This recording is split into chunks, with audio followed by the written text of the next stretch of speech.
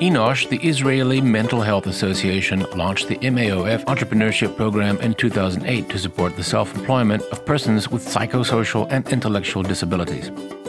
The program has resulted in 433 businesses by 2022.